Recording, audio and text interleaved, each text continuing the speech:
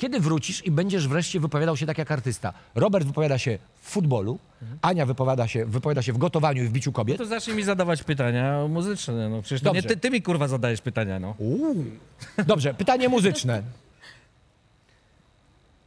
Jaką największą kwotę zarobiłeś w swoim życiu? Tak serio, w gotówce. Dużo, no, różnie zarabiałem. Ale 200, 300 zł?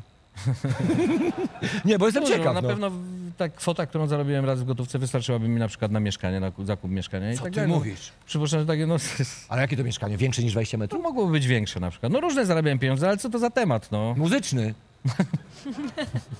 No tak, można powiedzieć. Nie, bo chodzi mi o to, że Że co, hajc dobrze gra? jak ktoś mi mówi, że pieniądze, pieniądze szczęście dają, tylko bądź uczciwa. Mów mi to, co mówiłaś przez telefon, jak gadaliśmy. Że kochasz mamonę. Że sobie rozsypujecie pensję Roberta, się tarzacie, tak. Mówi Robert, podsyp mi euro, bo twardo. No Ania, no to jest ludzkie. Jak ktoś mówi, że pieniądze szczęścia nie dają, to ja mówię tak, tak, im więcej pieniędzy, tym więcej nieszczęścia. Tak, tak. To jest z leksykonu polskiej hipokryzji.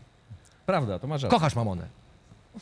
Nie, nie patrzę w takiej kategorii, dla mnie to nie jest najważniejsze. Ale wolisz euro życie czy do- na- ale wolisz życie- euro, nie, dolary? Kuba, Co życie woli? mnie tak nauczyło, że A przecież ty jesteś zamożny- są, ale ty jesteś z zamożnej rodziny. nie ma. Ja jestem zamożnej Ty jesteś rodziny. zamożnej rodziny.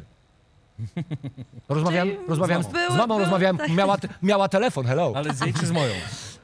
Nie, nie, Nie, nie, to by się Dzisiaj pogodziło. pieniądze są, jutro może ich nie być i A, ja... to tak się bawicie. Nie, po prostu życie mnie nauczyło tego, miałam różne historie w życiu i Dziewczyno, ja nie widziałem tak wielkiego brylantu, jak ty masz, ten, co masz na dłoni. nie przesadzę. Nie, nie, naprawdę, nawet podejrzewam, że nawet Leroy większego nie ukradł, naprawdę.